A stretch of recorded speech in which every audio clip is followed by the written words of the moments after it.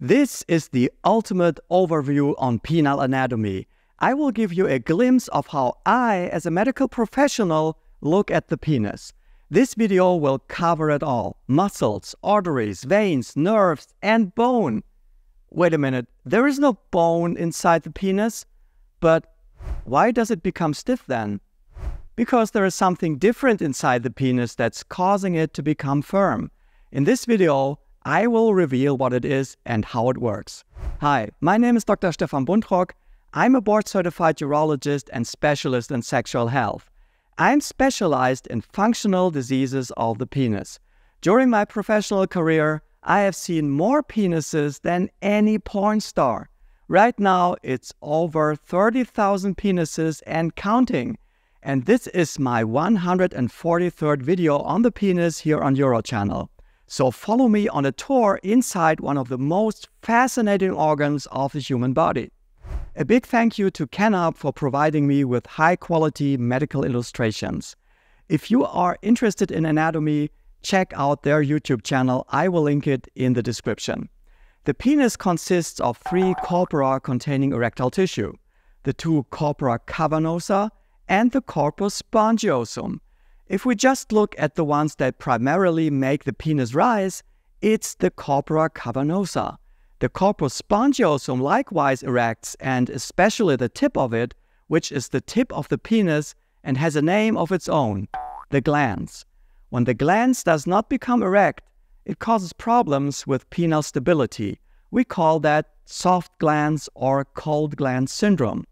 So, what is erectile tissue? It's made of muscle. But wait a minute, it's a special kind of muscle. Don't expect to take your penis to the gym and train that muscle like you would train your biceps.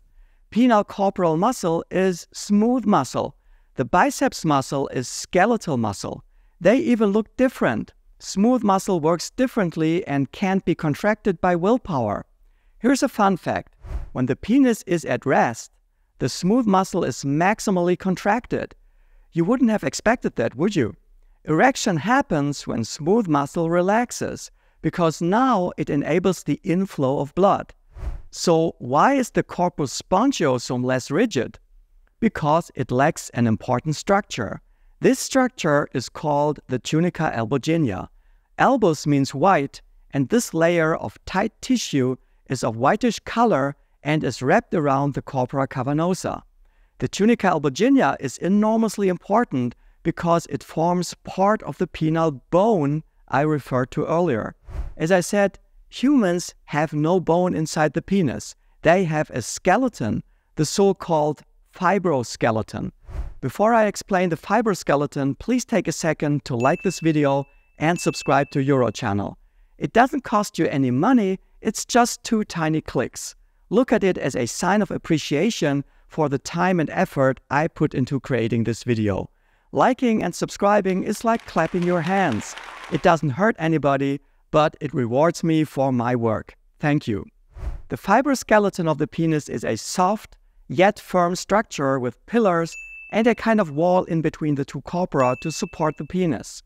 Penile hardness is the result of the corpora cavernosa filling with blood and the fibroskeleton withstanding that pressure inflow of blood starts with a nerve sending a signal to the smooth muscle of the corpora. They start to relax, and blood travels at high speed and volume into the penis. The most important blood vessel for this is an artery. It's the so called internal iliac artery that eventually branches off into the pudendal artery that has another branch, which is the penile artery. That's a very small one it has a diameter of only 1 to 2 millimeters.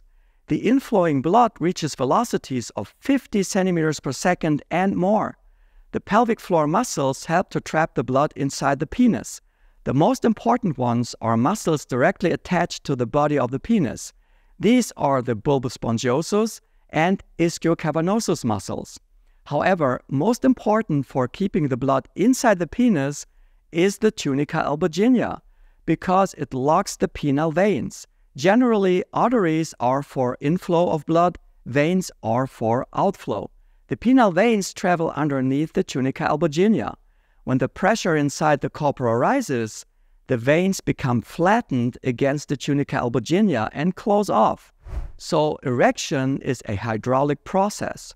Increasing pressure and the fibrous skeleton provide the framework for a hard and firm penis at erection. Now I would like to draw your attention to some hidden parts of the penis. It's gotta have some kind of root, right? So the corpora cavernosa extend into the body and spread to the left and right. This part of the penis is called the crura. That's plural. Singular is crus. So it's one crus, two crura. On top, the corpora cavernosa are anchored to the pubic bone by a firm structure called the suspensory ligament of the penis. The corpus spongiosum extends into the bulb of the penis. The urethra runs inside the corpus spongiosum.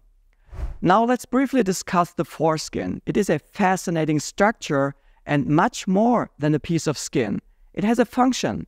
Until 1996, the foreskin, also known as the prepuce, was underappreciated in medicine, but we've since gained a deeper understanding of its function. It is held in place by a small string called the frenulum. When you retract it, it will eventually roll back because of that frenulum and because there is also some muscle inside the foreskin. The foreskin provides mechanic protection to the glans, but it is also very important for penile sensitivity. The glans itself only records pressure. The rest more or less happens within the prepuce and frenulum. Here we have myriads of nerve endings that are responsible for penile sensitivity. If you do a circumcision, it may cause decreased penile sensitivity and reduced sexual function. However, also increased sexual function has been reported in the literature. Personally, I have a tendency to leave it and not recommend circumcision unless there are absolute reasons to do so. And I can assure you that there are circumstances where you have no choice. It's pretty much the same in all of medicine. Sometimes you are left with no choice but extract a tooth, amputate a leg, remove some intestine. What could be a possible reason for foreskin removal? Typically BXO, Balanitis xerotica obliterans, also known as lichen sclerosus. It is a chronic progressive inflammatory disease of the prepuce. It has to be stopped before it causes problems with scarring of the urethral opening, for example. Before this video ends, it's crucial for you to know the main supply lines. There is a bundle containing a major artery, vein, and nerve running together on the back of the penis. This is a very delicate structure, and if it gets damaged, the penis will lose a lot of its function. This power line has a name of its own, the neurovascular bundle. The neurovascular bundle is well protected because there are several layers of tissue covering up that structure. If you've enjoyed this deep dive into penile anatomy and want to watch more content on this fascinating organ, check out my playlist with the remaining 142 videos. Thanks for watching. Bye bye.